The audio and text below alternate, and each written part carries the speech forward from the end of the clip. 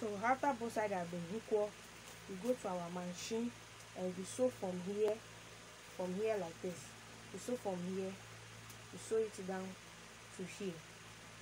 Then we double stitch it here. So after we've sewn when we get to this place we now start creating pleats like this.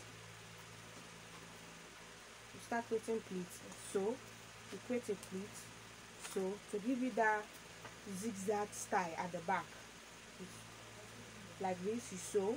So after creating those pleats you now sew just a straight line to this place. This place will be open so that you'll be able to wear.